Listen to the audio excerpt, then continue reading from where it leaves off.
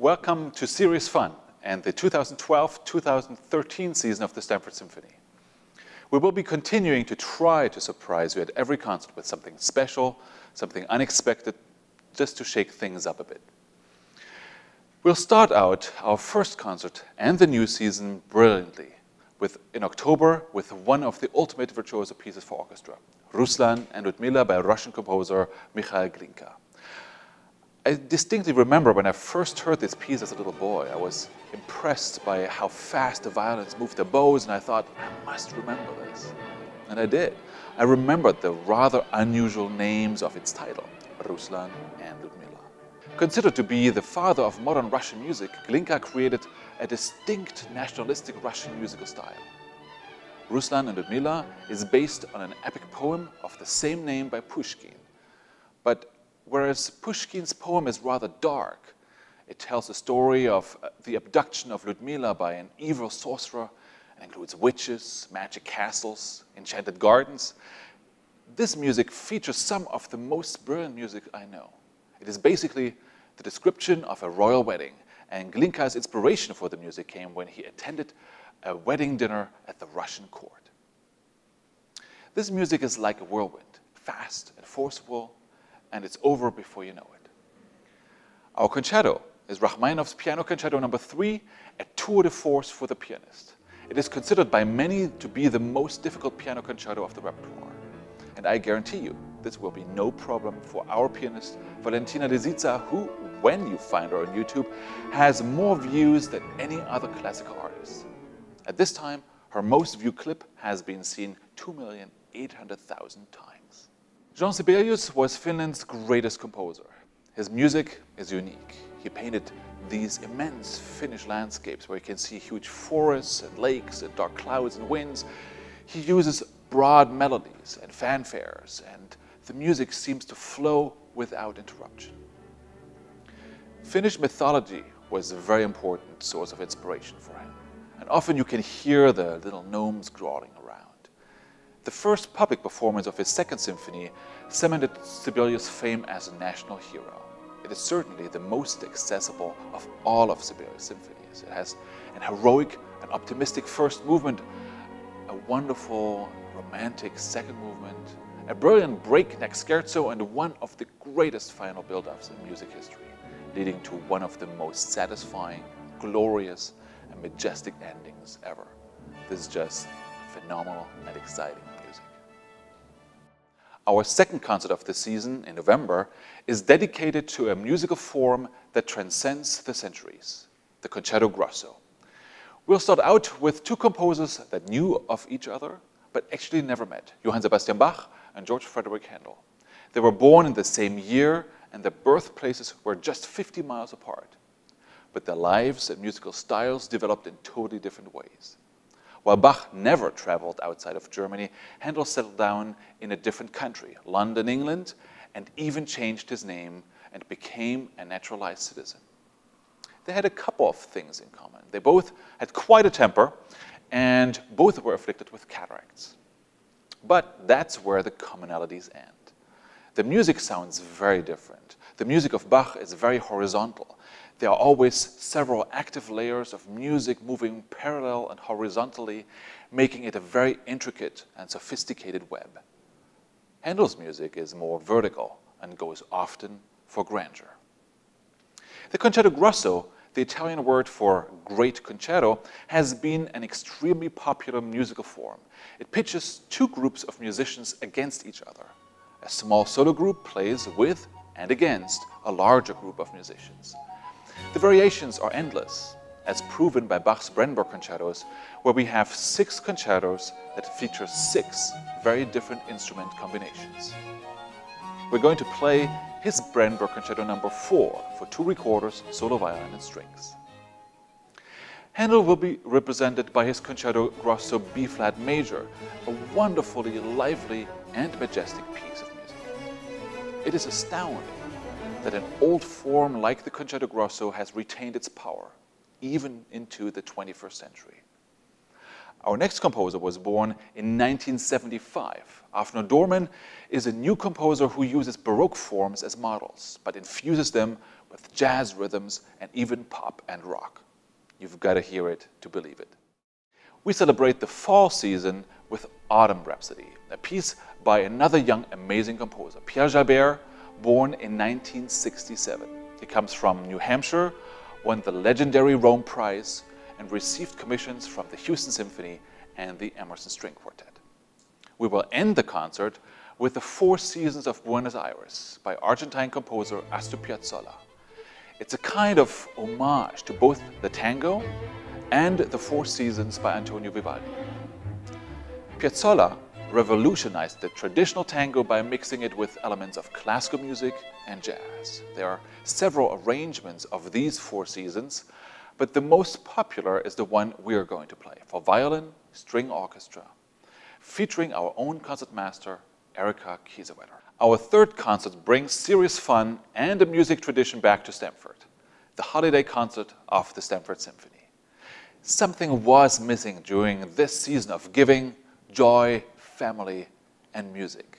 And so we'll kick off the holidays in early December with this delightful program of classical and popular favorites, two phenomenal singers, and our superb Stamford Symphony.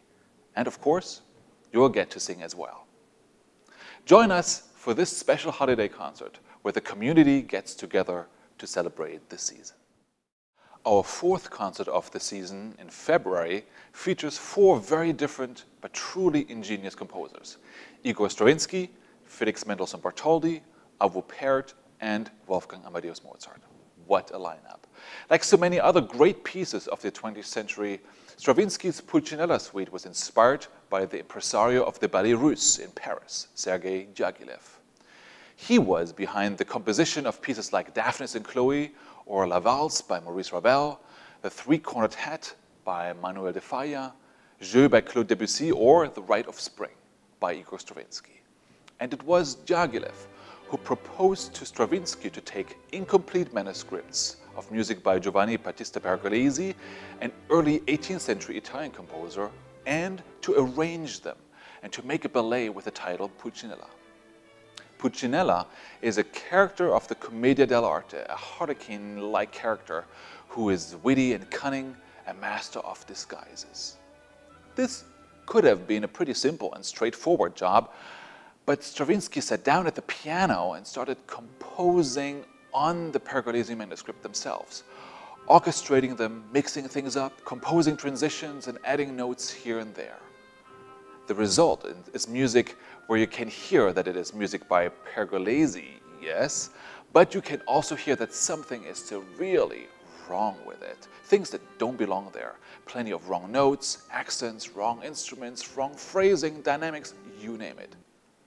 Stravinsky later said, lesser artists borrow, great artists steal. Felix Mendelssohn's music, very much like Mozart's, always feels like a breeze of fresh air. His first piano concerto is virtuosic and exhilarating. He was 21 years old in the midst of a two-year European tour when he composed it and needed to get it done quickly. Especially considering the speed of the composition, it is astounding how fresh, imaginative, and spontaneous the music unfolds. It's a profoundly romantic piece, but has, as it should, the typical lyricism of Mendelssohn as well as dazzling virtuosity.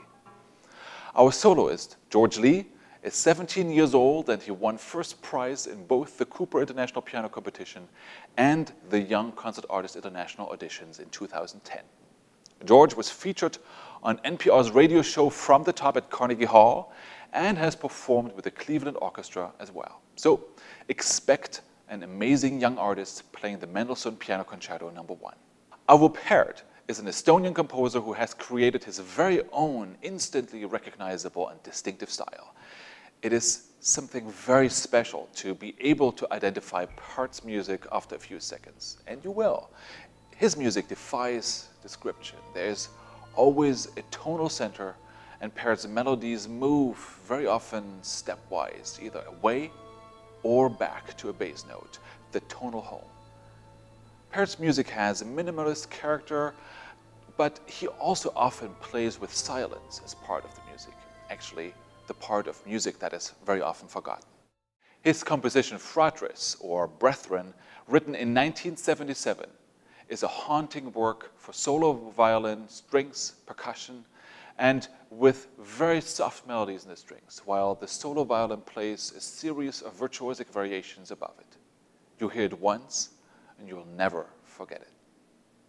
And speaking of unforgettable music, Mozart's Jupiter Symphony is a milestone in the symphonic repertoire.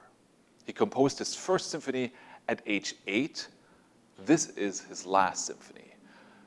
Mozart never called it the Jupiter Symphony. We don't know for certain who named the symphony, but Mozart's son, Franz Xaver, said that the London impresario Johann Peter Salomon gave the work its nickname after the most powerful of the Roman gods. I'm quite sure he named it just to sell it better. It is one of the most incredible achievements of instrumental music up to that point, and ever. What really stands out in this symphony, even by Mozart standards, is the last movement, the finale. It begins innocently enough, but turns into a tour de force of classical counterpoint and makes it a much more substantial movement, paving the way for Beethoven and Brahms. Mozart could not have known that this would be his last symphony, but what a way to go. What a great way to crown his achievements and at the same time to point the way to the future. The fifth concert of the Stamford Symphony in March is a dream come true. We pair Brahms' Song of Destiny with Beethoven's Symphony No. 9, and we welcome the Greenwich Choral Society to the Palace Theatre. Beethoven's Symphony No. 9 pushed the symphonic form to new limits. People hadn't heard anything like this before. The premiere was one of the many great successes of Beethoven. He was totally deaf by then, and the story is that one of the soloists had to turn him around to the audience so that he could see the applause, which he could not hear. From the high energy and tense opening to the furious, wild, and overwhelming ending, everybody knew that Beethoven had achieved a completely new level of symphonic writing, a Mount Everest that every single composer after him had to wrestle with, and they're still wrestling with it. Beethoven never let go of the ideas of the French Revolution, and as he was thinking of incorporating Schiller's Ode to Joy into his music, it was because Schiller originally called it the Ode to Freedom, but because of censorship, had to change the title. Beethoven here wrote some of his most dramatic music. He actually added some words of his own, like the famous words of the baritone, O friends, not these sounds, rather let us sing more pleasant and joyful ones. From then on, one hit comes after the other, like Freude schöner Götterfunken or Seid umschlungen Millionen. It's a celebration of brotherhood, of humanity. And I think that this piece has been so popular for centuries, not only because of the phenomenal music, but also because of its humanistic message that is as valid today as it was back then. April brings us to the last concert of our 2012-2013 season, and it features two of my favorite composers, Peter Ilyich Tchaikovsky and Anton Bruckner. Anton Bruckner came from very simple beginnings, son of a teacher, the first of 11 children in a small town in Upper Austria. Listening to and performing Bruckner is always something very special. It's a journey, not just a side trip. Bruckner doesn't write short stories. He writes novels. His fourth symphony was given its nickname by Bruckner himself, the Romantic. And he provides us with a description of what it is about. The first movement features a city of the Middle Ages, dawn. From the towers of the city, we can hear wake up calls. Knights storm out of the city on their proud horses. The magic of the forest embraces them. Sounds of the forest, bird songs. A truly romantic picture develops. The second movement is one that Bruckner describes as Pilgrim's Nocturnal March, while the third movement is a scherzo, the hunt of the hare. In the fourth movement, serious trouble is ahead, with a violent storm breaking with thunder and lightning. There is, of course, much more to the symphony than a description of nature.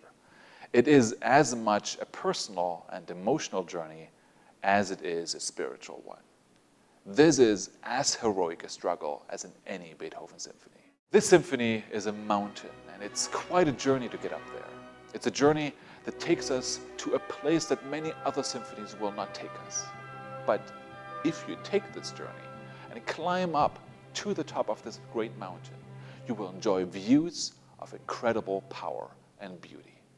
Tchaikovsky's violin concerto was a kind of therapy session for him.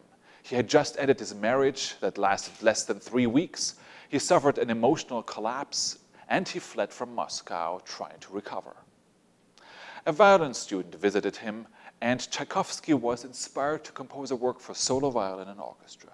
Nothing in Tchaikovsky's life was easy. When he sent the finished concerto to Leopold Auer, a friend and head of the violin department at the St. Petersburg Conservatory, Auer proclaimed that the piece was unplayable. It took many years before this concerto became what it is today, known as one of the most famous concertos in the entire literature. What seemed to be impossible for the virtuosos of Tchaikovsky's time is comparatively easy for the young virtuosos of our time. Nigel Armstrong is our soloist, a finalist in the 2011 Tchaikovsky International Competition and a silver medal winner of the 2010 Yehudi Menuhin International Violin Competition. We have a great season in store for you, and we hope you can join us for some serious fun at the Palace Theater in Stamford, Connecticut. Concerts are on Saturdays at 8 p.m. and Sundays at 3 p.m.